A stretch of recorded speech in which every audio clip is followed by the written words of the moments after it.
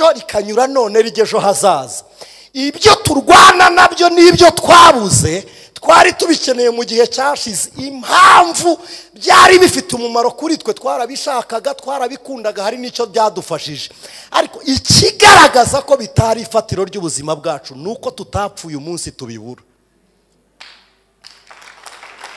Noneho yobu kubura abana biratuma ava mu gihe cyashize aba afite agere mu gihe ari nonaha atabareba ashakira imana mu bizaza abibure kuko n'umugore ntahari.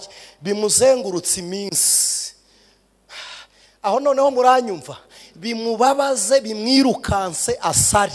Ariko noneho nimunyumve tuzenguruke gato.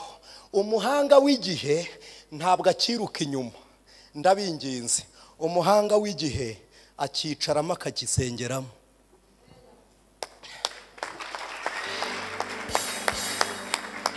Umukire akunyuraho usenga. Umukene akunyuraho usenga. Umutunzi akunyuraho usenga. Iyo utindanye n'imana Eh, none se uretse ko babitagatifuje poroduwi y'uburozi bwose itagurishwa ku isoko rusange igurwa na bamwe mwagize ngo shima iturukahe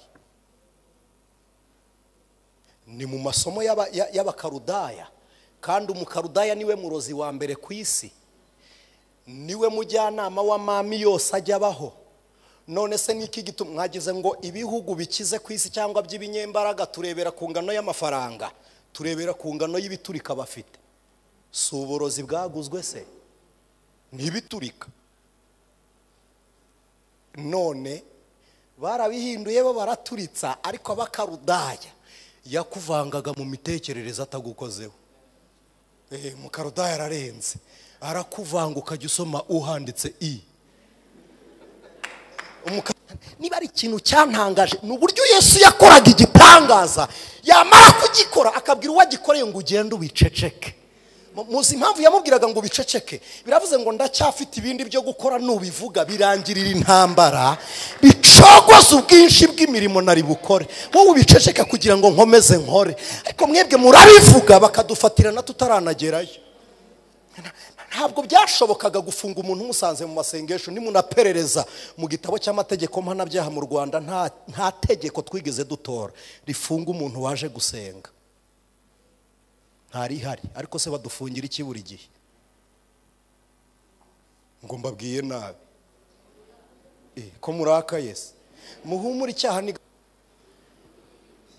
Eh, none se uretse ko babitagatifuje poroduwi y'uburozi bwose itagurishwa ku isoko rusange igurwa na bamwe mwagize ngo shima iturukahe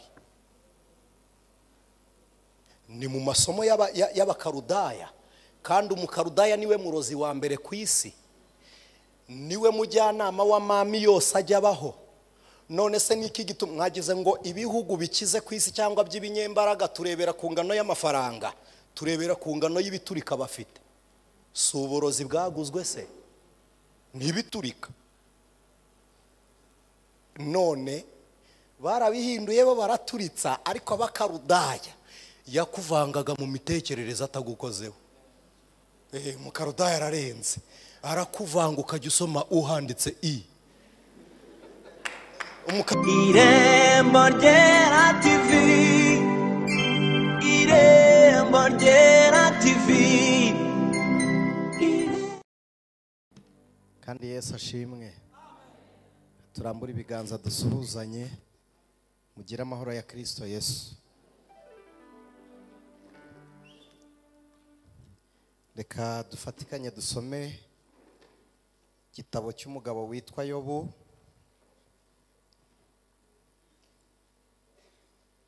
Dusangire ijambo riri mu gitabo cy'umugabo witwa yobu ni igice cya cumi na gatanu umurongo waho wa makumyabiri na gatanu. Turaza kwimuka turebe n'igice cya mirongo itatu n'icyenda.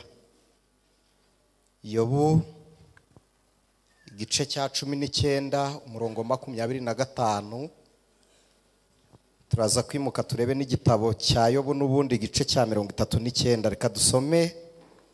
Haravuze ngo ariko njye ubwanjye eh, nzi yuko umucunguzi wanjye ariho kandi ko amaherezo azahagarara mu isi. Ndabisubiramo haravuze ngo ariko njye ubwanjye nzi yuko umucunguzi wanjye ariho kandi amaherezo azahagarara mu isi. Makumyabiri na gatandatu haravuze ngo kandi uruhu rwanjye nirumara kubora nzareba imana afite umubiri. Mwakire iri jambo ry'imana. Igice cya mirongo itatu n'icyenda muri icyo gitabo cya yobu reka duhere ku murongo waho wa mbere. Ah, abantu bize teoloji cyangwa bakunda gusoma ibitabo by'amateka iki gitabo cya yobu kibarirwa mu mugabane wa gatatu mu migabane igize bibiliya. Kibarurirwa mu gitabo cy'ibisigo cyangwa indirimbo. Abagisomye mu buryo bw'amateka iki gice cya mirongo itatu n'umunani gifatanya n'icya mirongo itatu n'icyenda ko ni ho gitangirira gitangirira ku murongo wa mbere w'igice cya mirongo itatu n'umunani. Mirongo itatu n'icyenda umurongo wa mbere haravuze ngo mbese uzi igihe amasaha yo mu bitare purito ama amasha yo mu bitare abyarira? Cyangwa se isha? Zo mu bitare. Cyangwa wabasha kugaragaza igihe imparakazi ziramukwa. Washobora kumenya amezi zimara zihaka cyangwa se uzi igihe zibyarira. Zirahera zikabyara abana bazo ah, kwerera kwazo kugashira. Abana bazo barakomera bagakurira mu gasozi bagacuka bakigendera ntibazayigarukaho. Ninde washumuye imparage? Ninde wazizituye? Izo nahaye ubutayu ngo zibubemo n'igihugu cy'ubukuna nkazihaho ubuturo bwazo. Zanga urusaku rwo mu mudugudu kandi ntabwo zumva urwamu rw'uziyoboye. Zizerera mu misozi aho zirisha zikahuka zijya gushaka intohera z'ubwatsi. Mbese imbogo yakwemera kugukorera cyangwa yaguma mu kiraro cyawe? Wabasha kuyizirikisha umugozi ngo uyihingishe cyangwa yasaza mu bikombe igukurikiye. Reka dusubikire aho gatoya tuganire kuri iki gitabo. Abantu tutaziranye nitwa aniseti niyo mugabo ndi umukristo mfite abana na madamu. Ngize umugisha wo kuboneka hano kugira ngo tuganirire ijambo ry'imana. Ariko kugira ngo tuze kujyana ndagira ngo turiho insanganyamatsiko ivuga ngo impamvu y'imana mu makuba y'umukiranutsi. Yesu ashimwe. Niba ari ukubera agapfukamunwa niba ari amasaha muri kundeba nka- nkagira ngo murababaye. Ariko turi imbere y'umuhoza ntacyo bitwaye. Niba hari ubabaye kirisita ariho ngo atumareho imibabaro. Kandi niba hari uwishimye nawe imana ikomeze impamvu yo kwishima kwe. Amen. Iki gitabo cya yobu kiri mu bitabo bibamo amagambo asa n'azimije ushobora kwifashisha bamwe b'iki gihe cya none bo bavuga ko iki gitabo ari igitekerezo.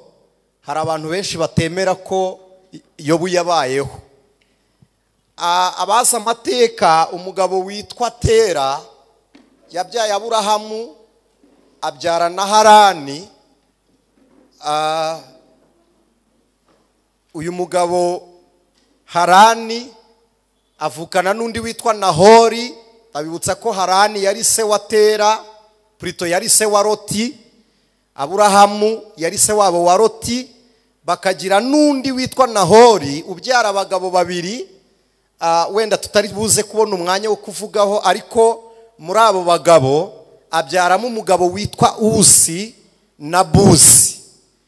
Uyu usi ah, ni we watuye mu gihugu uyu munsi cyitwa turikiya ni ho dusanga hari irawodokiya za garatiya n'ibindi bivugwa. Sinje kwigisha amateka. Abantu benshi bavuga ko yobu atabayeho n'ikintu gikonfyuzinga abantu nuko batazi umwanditsi w'iki gitabo hari ibitabo bibiri bigirwaho impaka muri bibiliya n'iki gitabo kirimo igitabo cya yobu n'igitabo cya- cy'abaheburayo.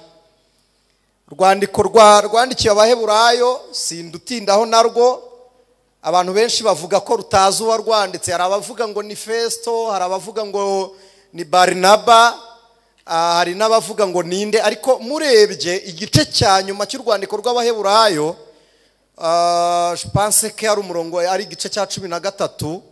Mu- mu- mu- musoma neza umurongo wa makumyabiri na gatatu musanga ari pawulo ko ni we wakoranye ubutumwa na timoteyo. Hanyuma iki gitabo cya yobu ah, cyanditswe muri mirongo inani muri mirongo ine n'umunani. Ah, kandi abagerageza guhuza amateka bavuga ko cyanditswe na mose umunsi ahunga ava muri egiputa. Ndagira ngo tuganire kuri ubu buzima bw'umukiranutsi ariko tubanje kumva iki gitabo ni bwo tugendana neza. Uyu mugabo witwa mose mbere y'uko yandika iki gitabo murabizi ko mose ni umwisiraheli ariko utaravukiye mu gihugu cya isiraheli ko bibiliya ibivuga mu gice cya kabiri cyo kuva. ah, ikavuga umuryango wa lewi. Umugabo wo muri uwo muryango akuramo umukobwa bakabyarana umwana ariko bamubyara mu gihe cy'akarengane k'ingoma y'umwami witwaga neko. Utarashakaga ko hari umwisiraheli uzavuka ari umuhungu kugira ngo arwanye ubwami bw'abisiraheli. Hari ikintu ujya nkundira imana ah, umuntu uteye ubwoba cyangwa uzanyeganyeza isi satana amutinya akiri no mu nda muzasanga kenshi hari n'urubyaro rurwanwa rimwe na rimwe abana muzabyara babateza intambara no muri fiyansaye kuko satana azi ko guhura kwanyu nimuhuza muzabyara kirogoya kuri we. Eh, um- umwana azarogoya imigambi ya satani bikaba ngombwa rero ko ateza akavuyo muri iyo minsi agakorogana kugira ngo arebe ko hari ahantu hatoya yanyeganyeza ku mubano wanyu mugateshuka mukazabyarira umwana muri situwasiyo mbi bigatuma se na nyina batamwitaho. Rero na mose avuka yavutse mu gihe abisiraheli bari bari kurengana muri egiputa bakoreshwa uburetwa ariko kandi avuka n'abana b'abahungu babica nasomye akababaro k'abisiraheli ntangazwa nuko bitwa ubwoko bw'imana ariko bakageragezwa n'ibiganza by'abatizera imana abantu imana itemera. Ntangazwa no kubafata bakabera abisiraheli ibigeragezo. Mu yandi magambo muri mayindi n'imitekerereze yacu ntabwo wakumva uburyo umurozi yatesha agaciro cyangwa se agahangayikisha umuntu wasenze amasengesho yo ku wa gatatu. Ntabwo byumvikana. Ariko kubera iki imana yemera bigera ku mukiranutsi? Farawo yageze ku rwego abwira abisiraheli arababwira ngo muri mwe ntawe wemerewe kubyara umuhungu kuko ubwami buri muri mwebwe. Muri kugwira nimumara kugwira muzakwira nimukwira muzadutwara mutuyobore. Abageze muri iyi sitware nabo ababisiraheli muri egiputa nabo bitwa bimukira abahitayite cyangwa hitite. Ah, ubwabyo kuba farawo yikanga abantu bari mu gihugu biratuma abo bari muri icyo gihugu badakwiriye kugira amahoro. Ariko noneho arabakoresha uburetwa abime n'iterambere. Ariko agera no ku rwego avuga ngo uzabyara umwana w'umuhungu muzamwice. Akababaro kagwiriye aragakabya aravuga ngo kumwica gusa nimumubaha mugafata umwana wapfuye mukamuha nyina bazamushyingura nibamushyingura bajye bajya kuririra ku bituro by'abana babo babura umwanya wo kudukorera uburetwa. Haravuga ngo kugira ngo mubahe abana babishyingurire mujye mubica babure n'aho mubatwaye mubate mu migezi. Bibiri irambwira ngo abagore bo muri egiputa bara- kubabara no kuboroga birashira ahubwo batangira kuniha. Batangira kugira gute?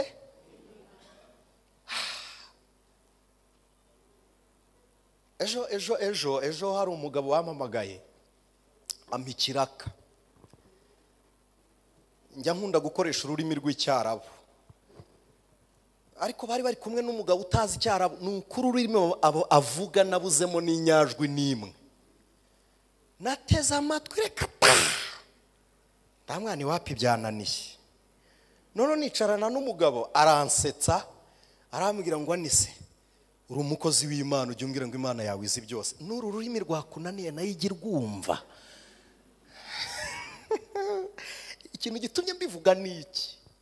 Mu muntu ubundi umuntu agira imvugo ingana na, sosiyete arimo.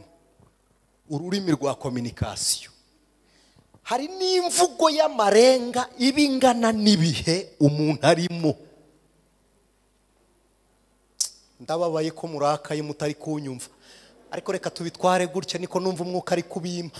Hari situwasiyo iguha ingendo ikaguha imvugo ituma bimwe bakumenyereye kubisobanura bikunanira.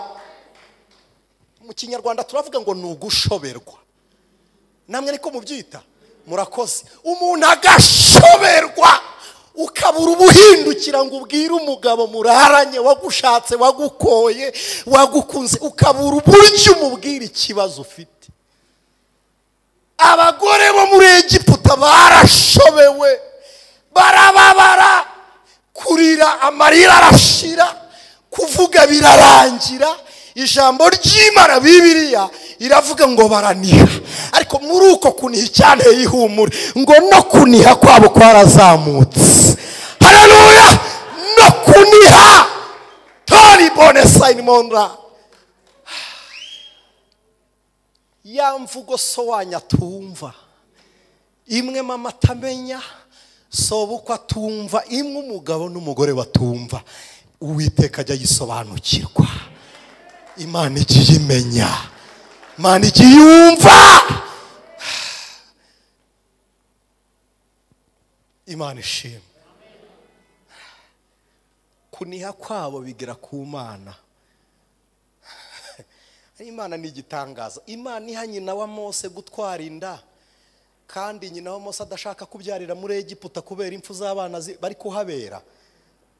Ntabwo imana yatinda kuguha cyangwa ngo itinye kuguha akazi kandi uzakorana n'umuntu ukugambanira ngo bakwirukane. Na nyina wa mose yamusamiye muri egiputa. Ntabwo yatinya kuguha mariage iz'urusaku rw'amagambo ruri inyuma na mose yavukiye muri egiputa. Umunyarwanda yaravuze ngo inuma y'inyamugisha itorera mu itongo ry'uyihiga iyo ni inuma kandi ahaba itongo nuko haba hadatuwe. Ariko umwana w'ubugingo ntabwo arira mu itongo. Ni mu biganza by'ushaka kumuvutsa ubuzima. Aho imana ihashyira rasiyo ye. Nyina wa mose ngo asame inda abyara mose ngo amuhishe amezi atatu. Ngo ananiwe kumuhisha amubohera akato. Dore ikintu cyantangaje bene data. Muzi ko nyina wa mose atigeze yemera ko yabyaye kandi ateruye umwana. Ntabwo yigeze yemera ko afite umwana. Muzakurikire abakuru muri muri twe. Mu- mumbwire mwuka abyaramwe muzi ko nyina wa mose atigeze yita umwana izina. Yamwitaga uruhinja gusa. Yaravuze ngo n'ubundi nturiho. Nta zina nguha sinzaguhamagara. Ninguhamagara farawo azamenya kuri hano. Kandi reka ngufate nk'udahari kuko nturi bumare kabiri ngo amuhishe amezi atatu. Ijwi ritangire kuzamuka ryo kurira k'umwana nyina wa mose aravuga ngo abumva kurira kwawe barakwica. Abwira miriyamu ngo reka mutware mu rufunzo. Nyabuneka miriyamu ujye uhagarara hakurya y'urufunzo urebe uburyo umwana arira uze umbwira amakuba yamubayeho. Imana ishimwe ko mose mu rufunzo agira miriyamu umureberera imana ishimwe yavutse bigoranye kumurera biragoranye aho aba ni mu kato ariko miriyamu aritegeye. Miriyamu arahari. Miriyamu arahari. Mose ntari bwivuganire. Mose ntibamukeneye. Ariko nyina yaramucungishije ka miriyamu hari uburyo ugendana n'abanyamagambo imana ikakwima inshuti muri iyo kominete urimo ukureberera marayika akajya ahagarara ku ruhande agatwara raporo z'inshuro bakuvuga. Marayika akajya areberaho. Shimiye imana. Nkunda yesu we. Umunsi umunsi umunsi yesu apfa. Bamushyira mu gituro yaravuze ngo abahungu banjye baraza kunsura. Ah, aravuga ngo ubwo bari buze nibagera hano bakambura bariheba. Reka mbasigire igitambaro nk'uko najyaga mbigenza ndi kumwe nabo bisobanuye ngo nubwo batambonye sindi kure. Ngo arakizinga agishyira ku ruhande bisobanuye ngo nubwo mutansanze hano ntabwo nagiye kure ndi hafi. Rero na miriyamu yacungiye hafi. Shimiye imana itwegereye kandi shimiye imana yamenye ibyakubayeho byose.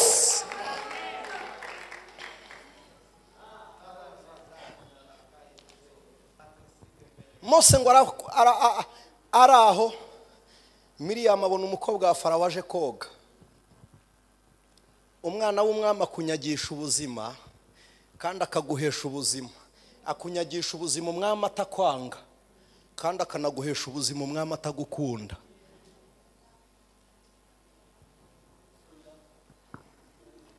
Umwana w'umwami aguhesha ubuzima bidaturutse mu rukundo se agukunda. Kandi akunyagisha ubuzima bidaturutse mu rwango se akwanga kubona umukobwa wa farawo aje koga byari ikizira kuri miriyamu ariko ariyumanganya. Akajya yanga kureba ku kato kugira ngo ba- batabonaho ijisho ryerekeye. Akajya avuga ngo reka nkure y'amaso. Kimwe mu bintu abarokore mwibeshye ni ukwirirwa mubwira abo mutasenganye nabo mukababwira amasezerano imana yabavuzeho. Mwahanze amaso akato umukobwa wa farawo aje koga. Hari utuntu turi murare mu kinyarwanda tugenda tubeshya ngo niba imana igusezeranyije kigali ngo genda wicare ku ruyenzi reka mbabwire. Niba ari ikintu cyatengushye abakobwa ba roti ni ukwicara isowari imana atariho yari ibajyanye ni cyo cyatumye ba- ba- bahaburira abagabo basindisha se abatera inda. Babyaranye na se umwe amwise mori biravuga ngo umuntu agiranye n'imana inzigo. Undi amwita muwabo bivuze ngo ni wabo w'umubiri nta mwuka w'imana uri kumwe natwe hano. Nuko bari bicaye ku gasozi imana itariho. Niba ari ikintu gi- gi- gitumye ibi bintu babidegrada byo gusenga ni amaserifi abarokore bari kwirya bari mu butayu. Uri mu mazi ntabwo ariko abana b'ubugingo bitwara. Niba ari ikintu cyantangaje ni uburyo yesu yakoraga igitangaza. Yamara kugikora akabwira uwo agikoreye ngo ugende ubiceceke.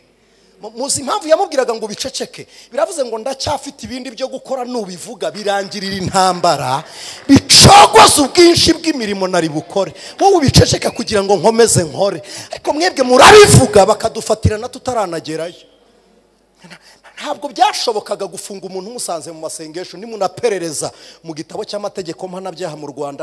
Nta tegeko twigeze dutora. Rifunga umuntu waje gusenga. Ntarihari. Ariko se badufungira iki buri gihe? Ngo mbabwiye nabi. Eh, ko murakaye se? Muhumure icyaha ni gatozi kuri nyiracyo. Nimukomere icyaha ni gatozi kuri nyiracyo. None se ubu mu- murambwira ngo gusenga ni byo bibaye akajagari n'indaya mubona hano. Ntimugenda hano. Ntabwo mushobora kuza gusengera hano mwayoboye kubona akajagari kaba mu giporoso. Ntabwo mwabi- mwabiyoberwa kamemu ubu iyi korodoro turayiyobewe. Ariko ikanyarira ni ho bafunga buri gihe. Kubera ikize twebwe twarebye ku kato. Umukobwa wa farawo aje koga. Ariko miriyamu yarizubaje areba ku ruhande. Areba ku ruhande akajya avuga mwene mama aragiye. Akongera akareba akabona umukobwa wa farawo. Noneho miriyamu arazenguruka aza inyuma y'abakobwa ba farawo. Bagenda berekeye kuri ka kato ngo bagapfundure basanga harimo impetso y'abaheburayo. Umukobwa wa farawo aramumenya ko ari umuheburayo. Ka mose karize gatera impuhwe.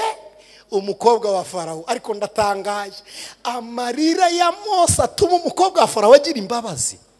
Muzi ko hari igihe imana ijya itera ababisha babizera ikabatera urukundo runyagisha akagukunda yarangiza akakugabira. Nyuma y'uko nyuma y'uko akugabiye akagenda akuvuga nabi kandi yaguhaye. Ukibaza ko yampaye arandwanyiriza iki? Ntabwo yari afite urukundo rwuzuye rwari urumunyaga ibyo afite kugira ngo imana ibiguhe. Eh, amaze kubiguha ahita asubirana umunaba akagenda agutuka.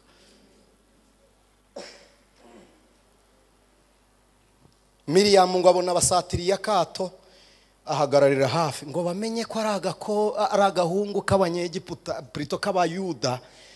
Umukobwa wa farawo ngo amushingira igiti. Uyu mukobwa yakurikirwaga n'umuhungu witwa ramusesi bakabyarwa n'umugabo witwaga neko. Neko ni we wari umwami wari muri egypte muri icyo gihe. Ariko afite umuhungu witwa ramusesi niyo mpamvu bavuga ngo ni umukobwa wa farawo. Hanyuma mose aragenda. Umukobwa wa farawo aravuga ngo munshakire uburyo uyu mwana azabaho. Mushiki wa mose miriyamu witaruye. Ariko mumbabarire tuganire. Wenda mvuge nitonze kugira ngo tugendane. Turi ku nsanganyamatsiko ivuga ngo impamvu y'imana mu makuba y'umukiranutsi. Mose ari kurererwa mu rufunzo kandi mose ni we kuboko kw'imirimo imana izakuza abisiraheli muri egiputa. Mumbabarire mu nyumve ni we imana ibitse mu bwiru n'amabanga y'ubucunguzi bw'abisiraheli. Ariko ari gusitaragoringa kugeza ubwo umukobwa wa farawo amubonye akimugeraho aravuga ngo wowe kugira ngo nzakurobanure mu bandi ndakwiyitirira izina. Aravuga ngo nkwise mose bisobanuye uwarohowe. Kuko ngusanze mukata aho bakuroye ni mu mazi. Nkwise mose. Bivuze uwo ndohoye uwo nikuriye mu mazi ubwanjye. Mose miriyama yegera umukobwa wa farawo nkunda marayika utatujya kure. Abwira abwira umukobwa wa farawo aramubwira ngo umva abana b'abaheburayo tuzapfa kumurera gutyo gusa atonka ngo bikunde.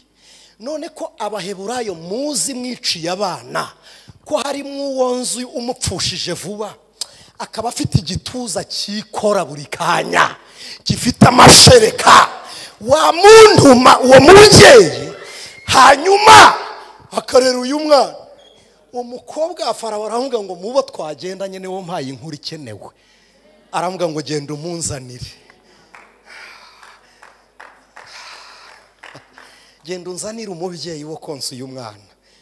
Miriyamu yiruka abwira nyina aramubwira ngo mose yafashwe. Ariko abamufashe barashaka umubyeyi wo kumurera. Oh.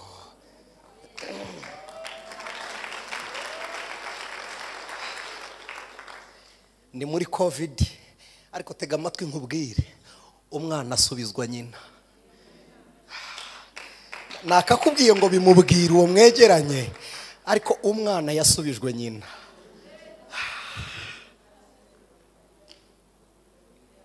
Ntabwo nzi icyo mvuze ariko nzi uwo mvuganye nawe. Umwana asubizwa nyina. Hararuya uwavutse mu makuba mu bibi nzu bamuha nyina bamukura mu aho yakataga urwondo bamukura mu mahema y'impunzi bamukura mu bakoreshwa uburetwa baramubwira ngo umwana w'ibwami arererwa ibwami yonkera ibwami arya iby'ibwami arara ibwami yambikwa iby'ibwami ngwino umurerere ibwami.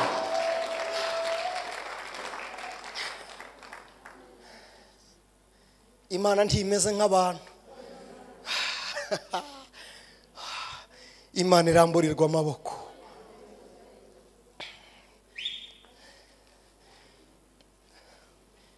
Nyina wa mose abyara umwana yanze kwikuriramo inda.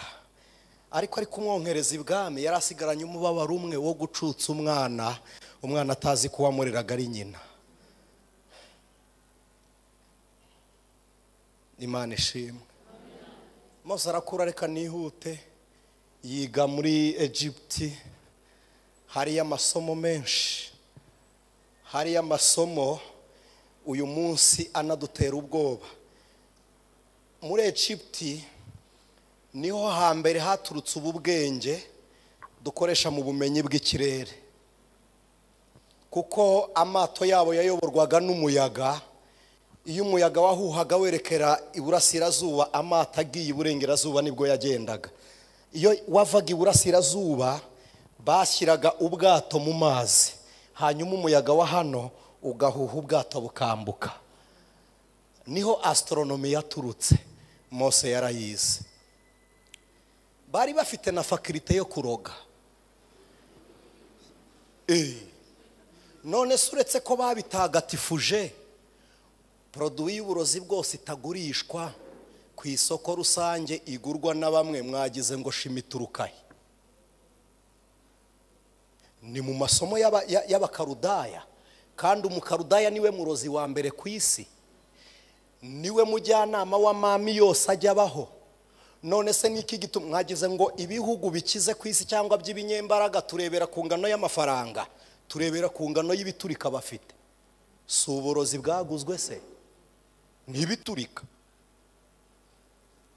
None barabihinduye bo baraturitsa ariko abakarudaya yakuvangaga mu mitekerereze atagukozeho. Eh, mukarudaya ararenze arakuvanga ukajya usoma uhanditse i.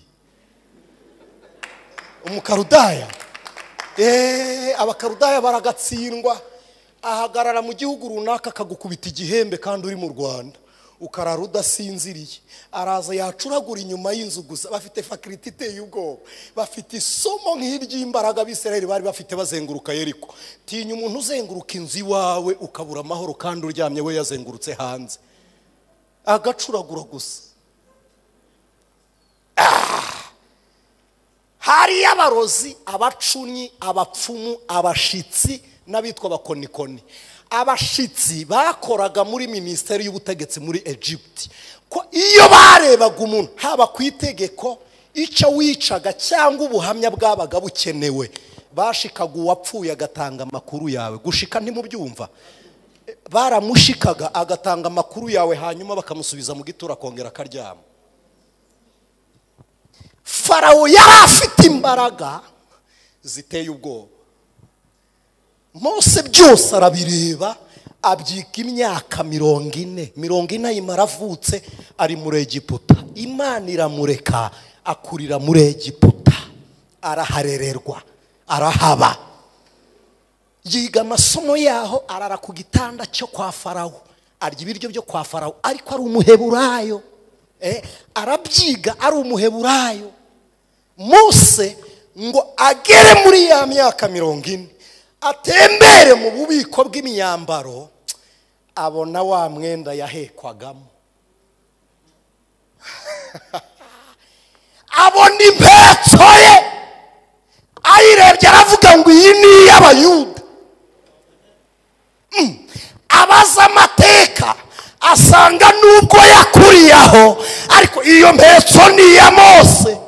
Aravuga ngo ubwo nahetswe mu y'abayuda nanjye mbyarwa nabo ubwo mbyarwa nabo sinkwiriye kwicara hano. Aravuga ngo sindi bunezerwe bababaye.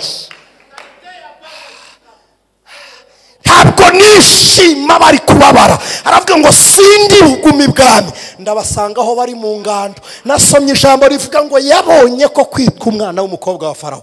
Atari ikintu cyo kugundirwa. Ngo aramanuka! Tori bori ya monasi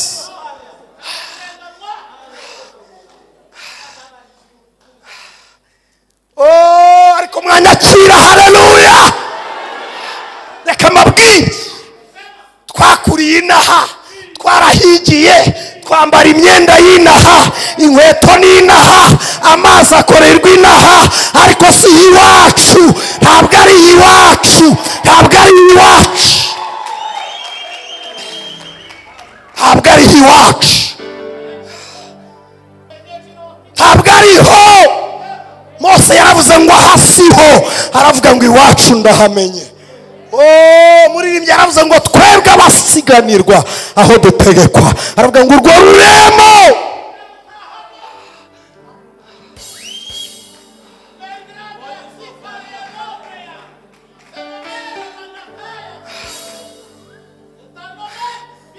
imana ishimwe ntabwo turaba.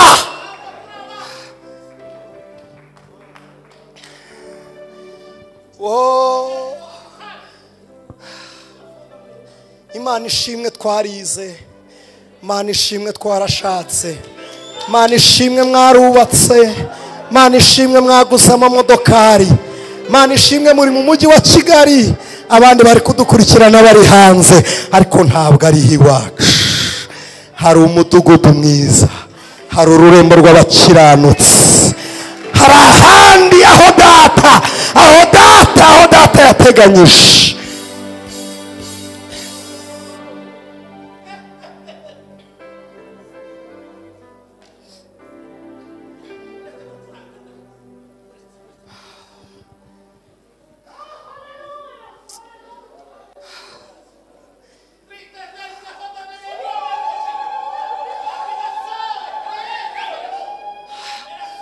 Umwanditsi w'ibyahishuriwe yohana yaravuze ngo aherekwa. Yabonye amarembo yaho hari amabuye yitwa sarudiyo. Ngo hirya ya sarudiyo ngo abona sapiro hirya ya sapiro abona yasipi hirya ya sipi abona simaragido ngo hirya abona inyanja y'ibirahure. Ariko mana Oh, tuzaba ibihumbi turamye umukiza tuzamuririmbira.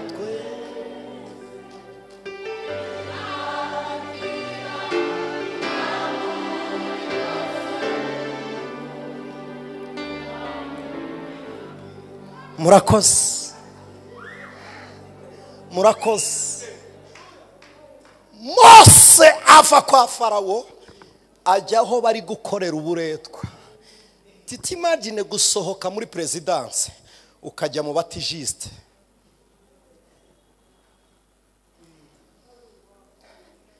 ibyo burumvikana kuva muri perezidanse re- reka reka tuvuge gutyo ni bwo byumvikana. Ntabwo uri umujepe way. Uri umwana w'umwami. Ukajya mu batijisite mu bari gukora imirimo simburagifungo ukavuga ngo singumi ibwami nanjye ndajya mu batijisite ubundi ijuru ijuru ubugingo n'ibiragwa abera barazwe.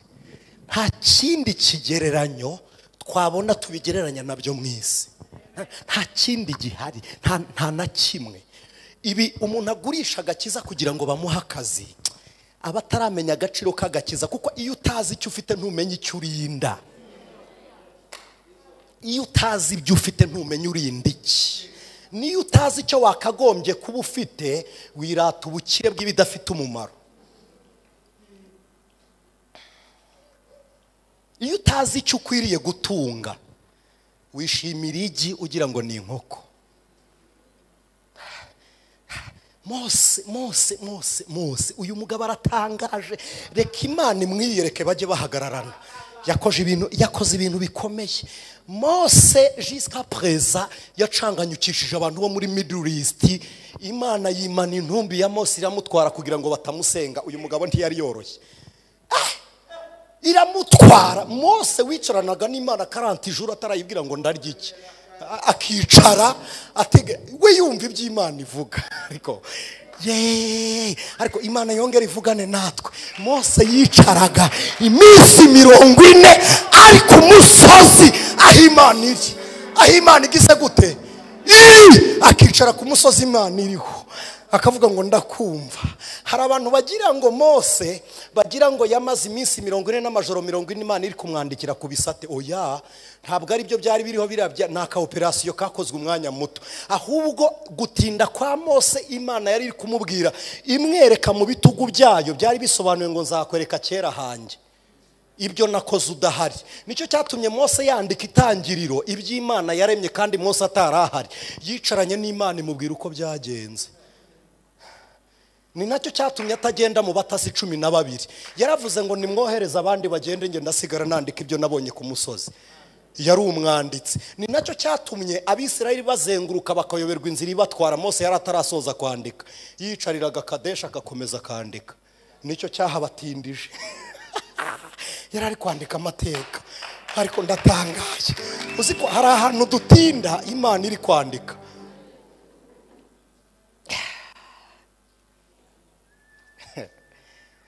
Hari igihe njya ntumbura nkumva nabwira imana ngo mbabarira duhure gusa nkurebe. Ndebe uko uteye. Imana ni igitangaza mu rwego rukomeye. Oh, mose ngo agire iyo myaka mirongo ine abona akarengane k'abisiraheli ndi kazavamo umunyegiputa akubise umwisiraheli mose aramubwira ngo barakubeshye. Aramwica amushyira mu musenyi. Ngo amushyire mu musenyi abisiraheli batangira kubivuga. Ijambo rirambwira ngo mose aratinya aravuga ngo byaramenyekanye. Noneho umuhungu wa neko arabimenya uwitwa ramusesi arwana na mose ngo barwane inkuru igeze kwa neko. Mose aravuga ngo ntabwo banyihanganira. Avana muri egiputa ikintu kimwe bamuteye inkoni yonyine arayitora aragenda ngo asuhukire imediyane kwa sebukwe yetiro. Naho asanga intambara abahungu bari kurenganya abakobwa ba yetiro.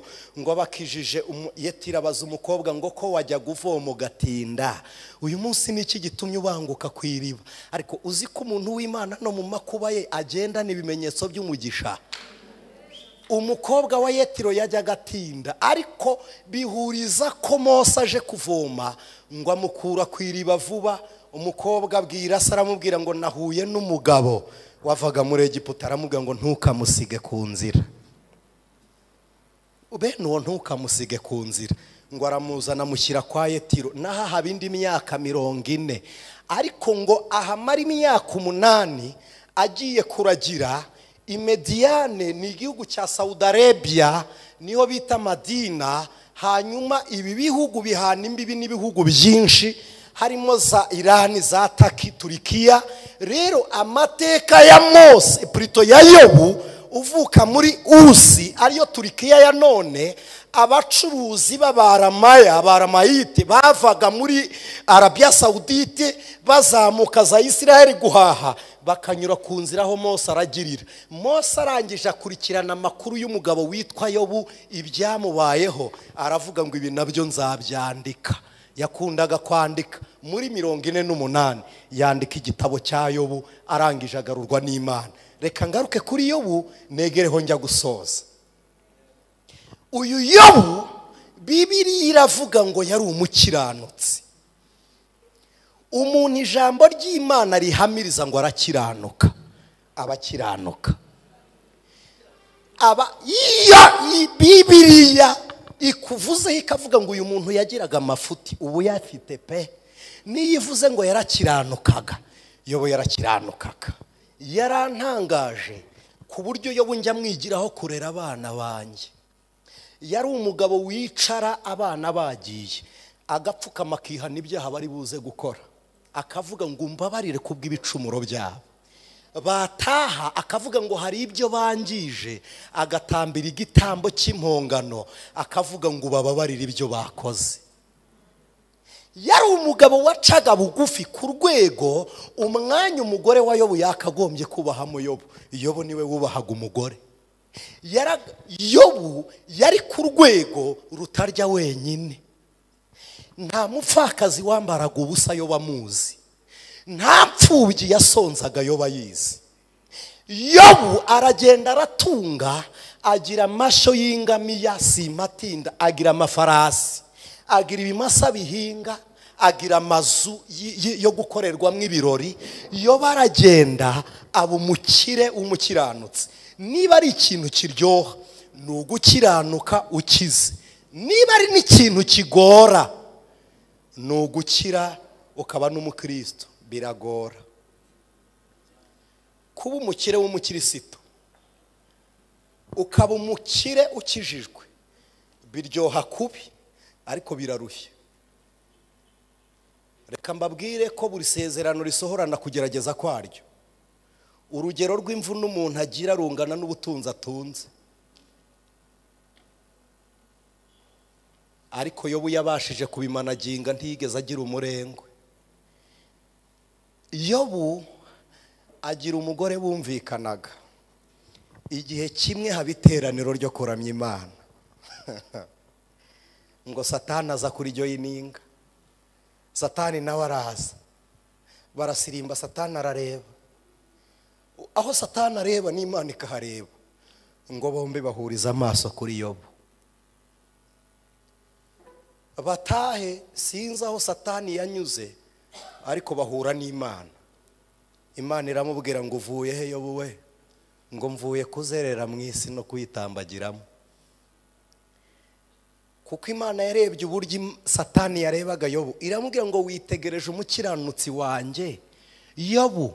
Satani aravuga ngo yabuzwa n'iki se adakiranuka. Afite ingamiya. Adakiranuka se. Ni umugore wamunaniye. Ni urubyaro yabuze. Ni ibyo kurya adakiranuka wabonye uburyo yoba ntambira atagutambira afite ishya akoramo. Aramubwira ngo wamumpaye nkamucunda ukareba ko azongera no- kuboneka na rimwe mu mwanya wo kugusenga. Imana iramubwira ngo uburyo nzi yobu. Ndamuguhaye ariko atansiyo ku bugingo. Naho ibindi byose bifate.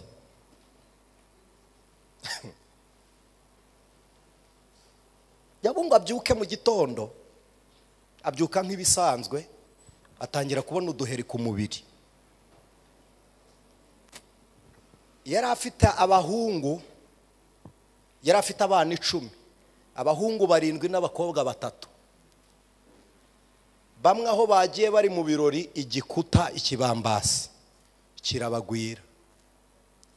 Abari bari guhinga ngo umuriro uturutse mu ijuru namwe mu nyumvire ngo uraza ubatwikana n'ibimasa bahingishaga. Amafarashi bari bafite birarangira. Byose birashira mu byarangiye kwa yobu no kwihangana k'umugore we. Nabyo birashira. Umugore atuma kuri bene wabo wa yobu abagabo bane basenganaga na yobu. Arabaga ngo muzaze mumumfashe. Mu- munyihanganire mvuge ntuje ni ho tubyumva hanyuma nsenge. Abagabo baze babwira yobu ngo dushaka kwicarana nawe iminsi irindwi n'amajoro arindwi nta kurya nta kunywa. Tubaze imana iki ikintu gitumye urwara ibi bibembe ku rwego utakirara mu cyumba cy'umugabo ukarara mu ivu uryimenaho wishimisha urujyo. Ibi ni ibiki? Elifaza amutega amatwi aramureba yobu aramubwira ngo ndi intungane imbere y'imana.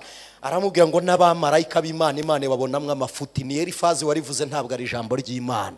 Yo baramubwira ngo ntabwo nagukundira kuvuza ibitunganye elifazi aramubwira ngo ceceka n'ubwibone bwawe. Aramubwira ngo nta hantu hamera urufunzo hatarigeze amazi. Ibi ni ibyaha wakoze. Bamarana iminsi irindwi n'amajoro arindwi imana itaravugana nabo. Ngo basoze umugore aramubwira ngo nari nkuboneye umuti. Tuka imana irahita ikwica. Ntikwica umubabaro wose ufite urashira.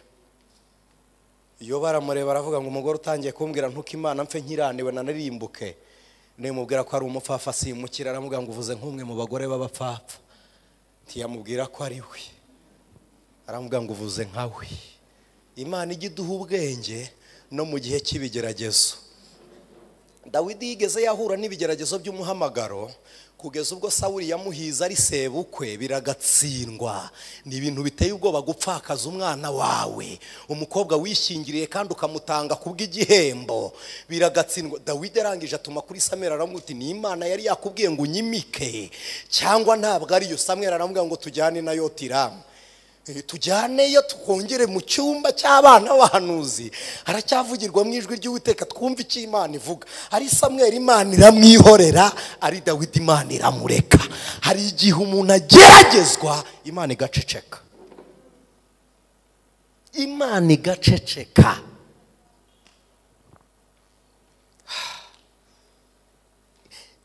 Ukageragezwa igaceceka. Iyo barisuzuma iyo barisuzuma asanga nta cyaha yakoze. Arangije afata agatoki avuma. Umunsi nyina yasamiyeho inda ya yobo aravuga ngo havumwe umunsi mama yasamiyeho inda yanjye havumwe n'umunsi navutseho. Aravuga ngo mbonye ko wabyawe n'umugore. Arama igihe gito. Nacyo cyuzuyemo imibabaro. Iyo barangije abwira imana arayibwira ngo mwami none niba amagambo ba birudadi ba zofari bavuze niba koko nta sano mfitanye na yo uzaze tuburane warandenganyije. Aho ni ho ubundi nari ngendereye imana ije imubwira amagambo twasomye asa n'adasobanutse nk'uko acanga abayasoma. Wamenya igihe amasha yimira? Ibyo byari bibwiye ikiyobo umuntu yapfushije abana ari kurara yishimisha urujyo ngo isha zima ryari kugira ngo azorore se. Byari bihuriye iyo umuntu ari kugeragezwa ikimenyetso cya mbere cy'uko uri mu bigeragezo ni uko imana ikubwira ibihabanye n'ibyo uri gusengera.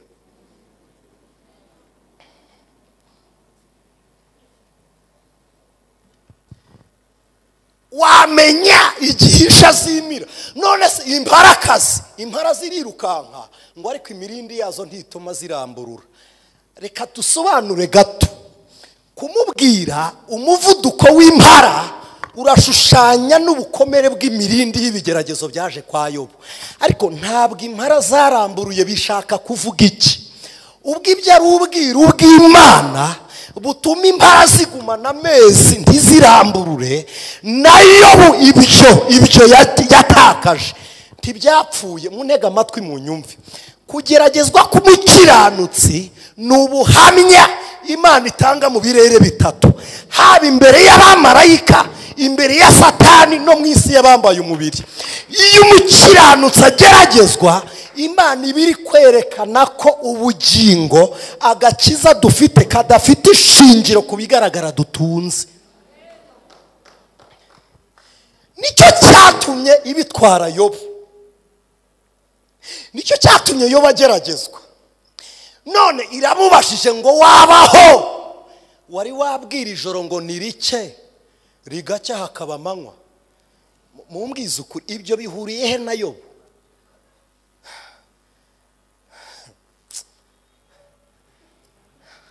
Hari umusore w'inshuti yanjye twarasenganye yari asoje kwiga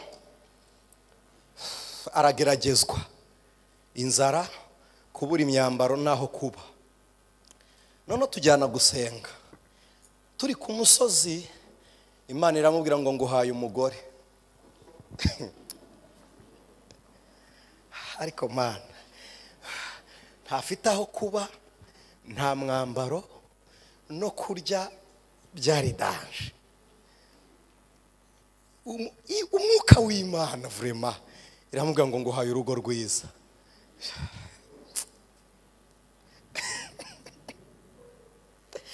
Ariko imana ni igitangaza. Imana igusezeranya etaje na kadasitere wubatse warayiteje cyamunara imana ikubwira inka n'agahene kagapfa kishwe n'isombe. Imana ni inyembaraga imana ikubwira akazi utarize utarigeze unadepoza. Imana ikubwira akazi nakurimo bakakwirukana. Eh umusore imana iramubwira ngo nguhaye umugore. Tubifata nk'ibiri aho nk'ibintu bidafite icyo biri bumare turatuza. Bukeye abona ikiraka. Akajya yambara ipantaro yanjye akajya mu kazi. Nanjye nkayambara avuye mu kazi nkajya gusenga. Atangira gukora. Abona imyenda nanjye ndagenda njya kubiwe imana ibiduciriye inzira. Yumva koko arashaka kuzana umugore. Ararambagiza. Umugore agire amezi atandatu atwite. Arapfa. Ari umwana arapfa ari n'umugore arapfa. Umugabo arambwira ngo nise ngwino nkubwire. Ndaza. Twari tumaze iminsi itatu dushyinguye. Arambwira ngo tujyane hamwe imana yampereye umugore. Tujyayo. Yikorera bibiriya n'igitabo cy'indirimbo. Tuhageze abirambika hasi. Arambwira ngo imana imbwira ko impaye umugore nari imusabye ntihoye kandi njya gushinja imana. None se ko imutwaye arambwira ngo yimbarize imwishe umugore wanjye apfuye irebaye niyo yamumpaye. Nari ngeze igihe mukeneye. None yaje no muri ngewe ndangiritse. Imumpereye iki? Iyo imureka se ko yamumpaye ntamusabye? Nigeze nkubitirwa muri iyi kigali. Imana imbwiye ngo zamuka ujye mu mujyi wa kigali ndaza. Nkajya ngenda na korani na bibiriya yera na bibiriya ntagatifu. Nagera ku musigiti nkabwiriza nsomye korani. Nagera nzenguruka iminsi makumyabiri n'umwe umujyi wa kigali nywugendamo n'amaguru. Ndagenda ndasonza ndara mu gishanga cy'ikinyinya ndafite ibyo kurya. Aho nagiye gusaba amazi yo kunywa bandebye n'inzara angirira imbabaza mpubushera sinari imbuzi abumpaye burankeka mu nda n'uyu munsi sinjya mbunywa burandya namaze iminsi itatu. Njyanye mu gishanga nta murwaza nishwe n'ubushera kandi. Ndangije mbwira imana ariko uwiteka we ndagukwe. Imana imana ishimwe umushumba wacu ikaze papa akisanti imana ni iki kumukiranutsi ageragezwa kubera iki? Tuva kuri uwo musozi ibitabo na bibiriya ndabyikorera tujya ahandi mu cyumba cy'amasengesho. Umukobwa aza yuzuye umwuka wera amufata ku bitugu. Aramubwira ngo dore icyatumye ngo wabajije imana ngo umugore wawe yapfuye ireba hehe? Aravuga ngo aho imana yarebaga babambaye yesu ni ho warebye umugore wawe apfa. Muzi ko imana ifite uruhande irebamwo amakuba ari kutubaho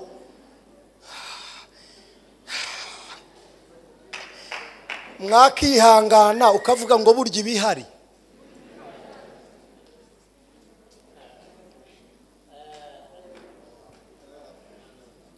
Yesu ashimwe. Ubura umugabo imana igize ite? Ubura umwana imana igize ite? Ibihari.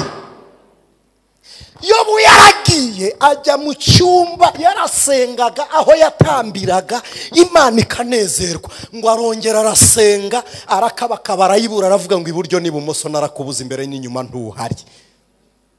Aravuga ngo ariko hari kimwe menye sinzikuraho kuba inyangamugayo. Avuze ijambo nkunda aravuga ngo nzi yuko umucunguzi wanjye. Oh hararuya yuko umucunguzi wanjye ariho iri jambo mu gihe buriya baravuga ngo ni goyeri ni umusimbura w'ibihe. Kuvuga ngo nzi yuko ahari biravuze ngo ahandi kubabarira hari undi uzaza kubabara ampa umunezero umurimo nezerwa ibyishimo by'ababara umubabaro wanjye aravuga ngo nzi yuko ahari aravuga ngo kandi icyo nzi nzamureba ahagaze mu isi avuga bibiri. Aravuga ngo nzaba nambaye umubiri. Kubwira umubiri yahaye ibibembe ubuhamya. Arabwira ngo wakibembewe waranyishe amaraso yashizemo umubiri urandya ariko nzareba umucunguzi.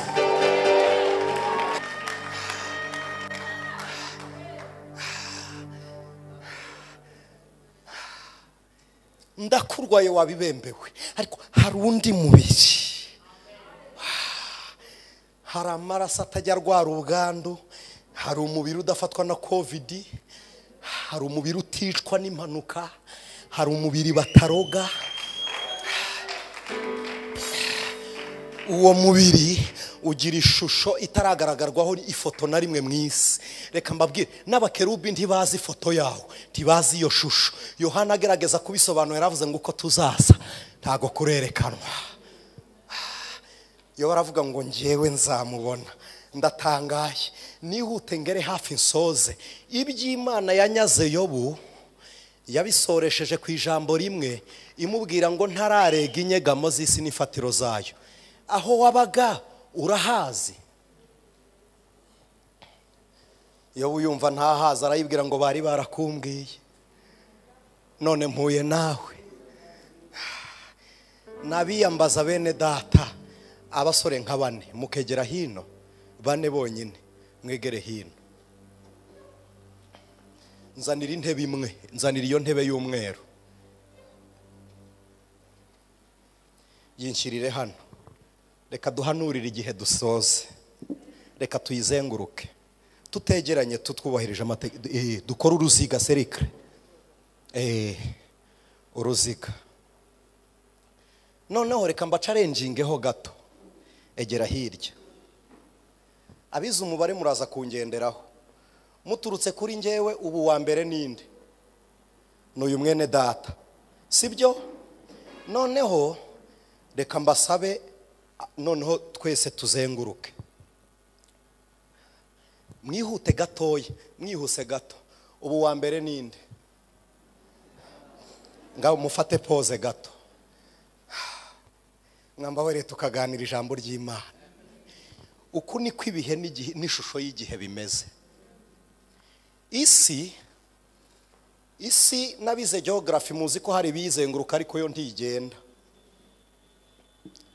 Nishaka ibizenguruka njye mfite uburyo mbyemera ko isi imeze nk'itoboye ariko abayishushanya bayigira umubumbe. Kuko hari ibituruka inyuma y'isi biza mu isi. Siko mubizi? Binyura he? Murakoze. Noneho egera hino gato. Aho ngaho. Reka iyi tuyifate nk'isi. Uyu tumufate nk'umukozi uyu tumugire umukoresha. Uyu tumugire umugabo uyu tumugire umugore mu rugo. Uyu tumugire umwana uyu tumugire mwarimu ku ishuri. Tumugire bosi uyu tumugire umushoferi. Bose bahurira kuri tere yitwa icya kabiri. Kugira ngo aba bombi babonane. Ni uko bagomba kuba baraje hehe? Amaji yaravuze ngo wahageze. Uriya muhungu ndamukunda ndamukunda. Ikimenyetso cya mbere cy'uko umwana ageze ku isi y'amakuba ni uko arira. Abize biyoroji y'umwana atarize ntaba ari muzima. Baramukubita. Muganga aragakubita akagabyatura pe. Kakarira kugira ngo bumve ko serire ze z'umubiri zikora. Iyo atarize bamusubiza mu byuma. Siko mubizi? Ubwo kurira ni ikimenyetso cy'uko utuye inaha kandi uri muzima. Noneho umutungo w'isi wa mbere ni icyitwa igihe. Ishusho y'igihe ariho bavuga ngo tayimiziki wa murakoze. Ariho bavuga ngo igihe ni amafaranga. Ishusho y'igihe ni zero. Hanyuma intangiriro ya zero ni akadomo.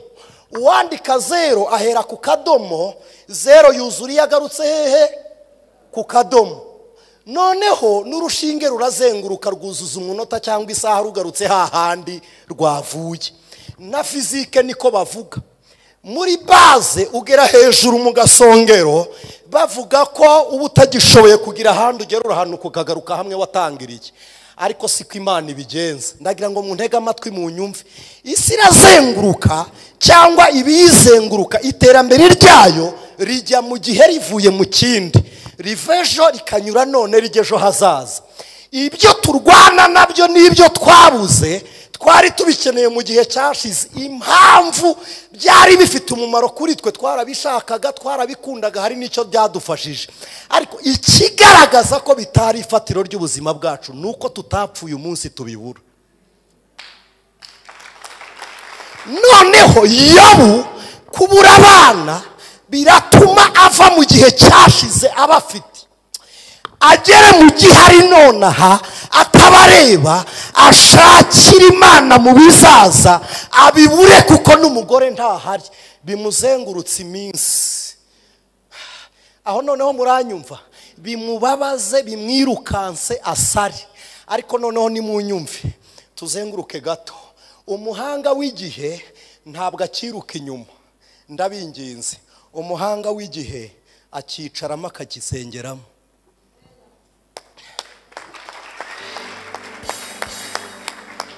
umukire akunyuraho usenga. Umukene akunyuraho usenga. Umutunzi akunyuraho usenga. Iyo utindanye n'imana mu gihe iguha ihishurirwa ry'abari kuzenguruka iki gihe cyose. Nubwo butwara abanyamwuka bagira bahishurirwa ibihe by'abazenguruka isi dogiteri akabura umuti akaza tukamusengera. Muganga akabura umuti akaza tugasenga. Abanyamafaranga ibisubizo bikanga bagakenera amasengesho. Kubera umuntu wese uzategeka igihe ntuzemera musubire mu byicaro. Ntuzemera kwicara mu gihe arimo agasenga. Yaba yanze kwiruka mu gihe aravuga ngo sinzikuraho kuba inyangamugayo. Aravuga ngo gukiranuka kwanjye.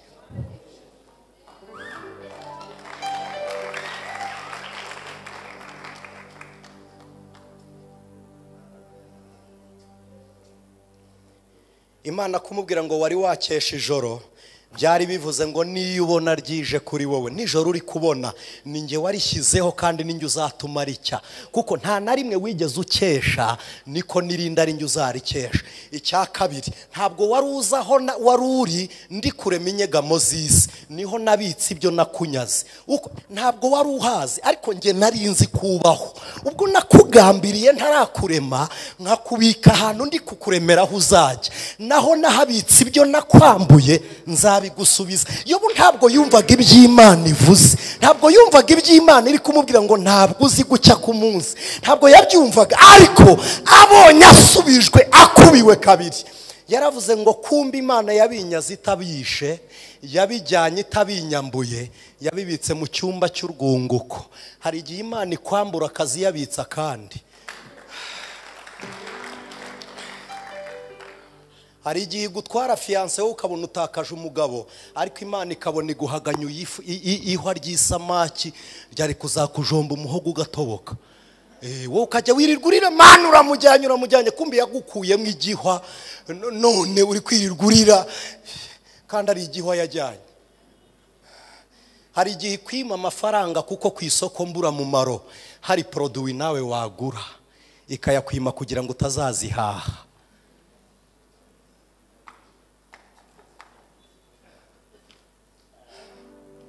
Dusenge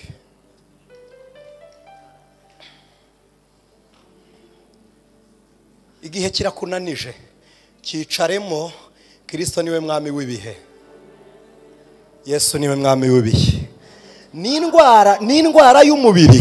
Yiha ubuhamya kuzambara kudapfa iteka ryose. Yiha ubuhamya uyibwire ngo nzambara kudapfa iteka ryose. None se ni ubutunzi bwagiye.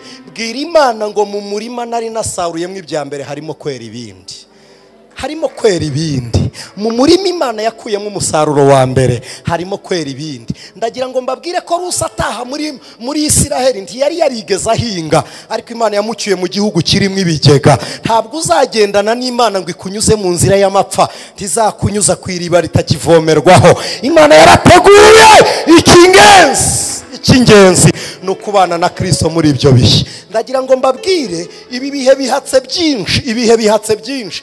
Ariko bera b'imana hagararana na kirisito utumbire yesu. Impamvu abantu biruka ku gihe ni uko batwarwa na byo. Ariko impamvu abantu bicara mu gihe ni uko bayoborwa na kirisito utegereza umwami.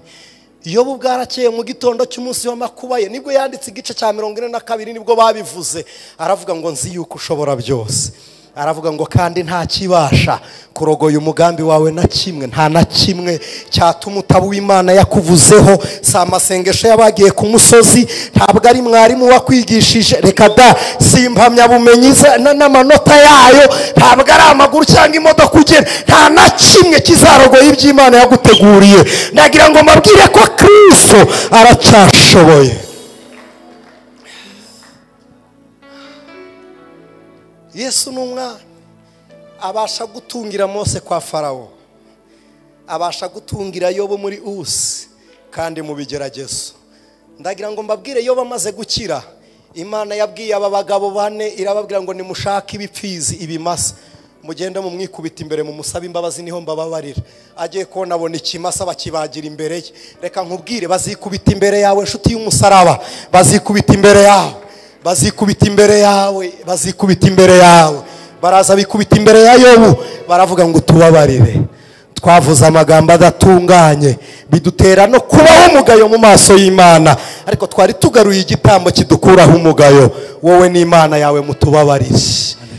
Ab'iminsi n'ibihe bakugarukire. Uramburirwa amaboko yesu. Uramburirwa amaboko kuko ari wowe uyobora igihe. Uzi ibyashize twanyuzemo. Uzi ibyo twari dufite tutakigira. Kandi uzi ibyo dukeneye tutakibonye. Ibihe turimo none hari ingo zituvuna hari abakoresha batugoye hari inzira zitunaniye hari ibihanda umugenzi.